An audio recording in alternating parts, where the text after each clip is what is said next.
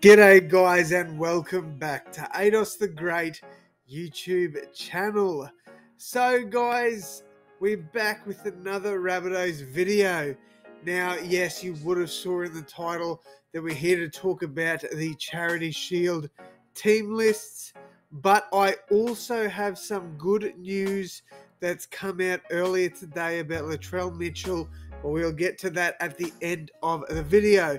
So if you haven't seen yet, Latrell is not included in the Charity Shield game, but I'll give you the good news at the end of this video. So let's go over the team list, guys, and let's see who's been named to play where.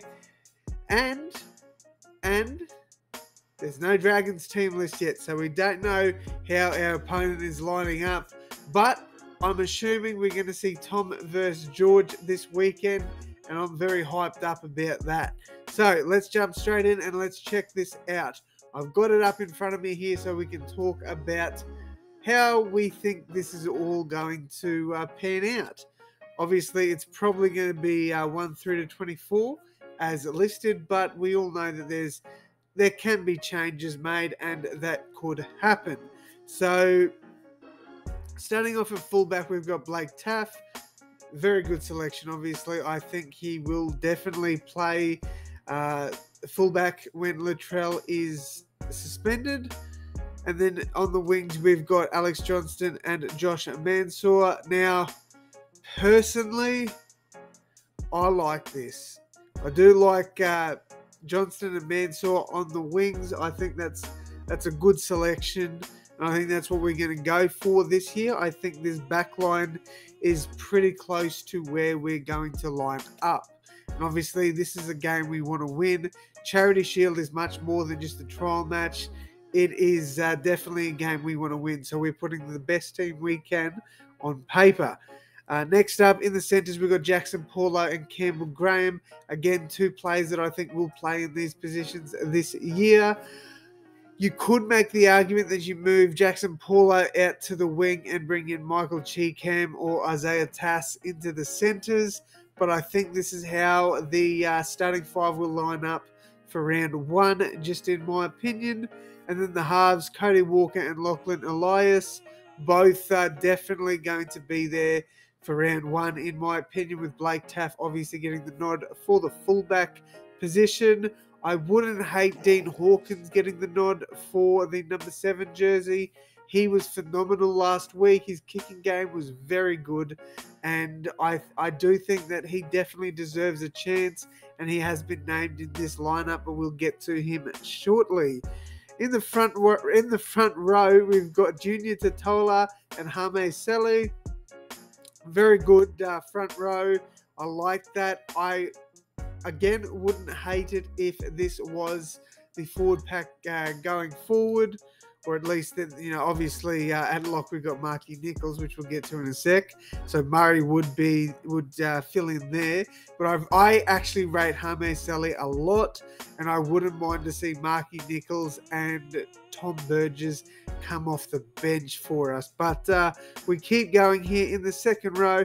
Big Keaon Koloamatangi. Love it. Love Keaon. Definitely one of my favourite players. Absolutely adore the big fella. He's brilliant. Love him. And then we've got Jai Arrow, again, another player that I think definitely deserves to be in the 13 man squad. Sorry, my camera's a bit, um, what's the word I'm looking for?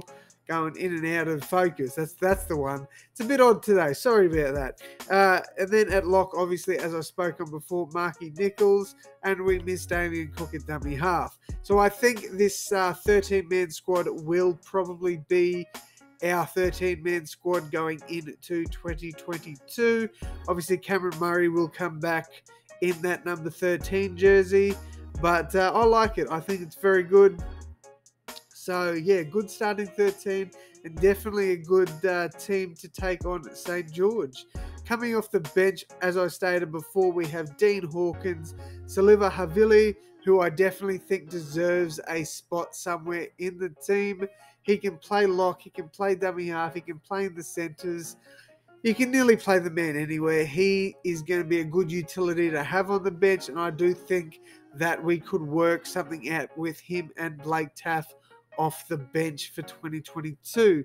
Yes, it would make us a little bit smaller, but at the same time, you've also got Mark Nicholls and Tom Burgess coming off. That would be my bench, and I think it's a pretty good bench to be honest. Uh, moving forward from there, obviously, then we've got Thomas Burgess, we've got Jacob Host. Uh, Michael Chee-Kam has been listed in this lineup. Super excited to see what he can do for us. He's another player I would like to see get a crack in 2022. But it just goes to show you we still have a lot of depth. Isaiah Tass is another player that's come in. So there, there's a lot of depth for this team, and I love it. However, Isaiah is not named in this 24 uh, man squad. Next up, we have my boy from the weekend. Oh, I've got a video coming out tomorrow that you guys need to check out. Yosaya, I'm going to pronounce this name wrong, Yosaya Karapani. Very, very good first hit out in trials week one against the Cowboys.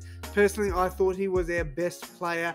Absolutely killed it for us, and I hope he gets more footy action in 2022 for the uh, starting lineup. Like, or not starting, but for the uh, Rabbitohs, that is, not for like the uh, the New South Wales Cup team or anything. I'd love to see him get more minutes in the NRL because I think he definitely deserves that.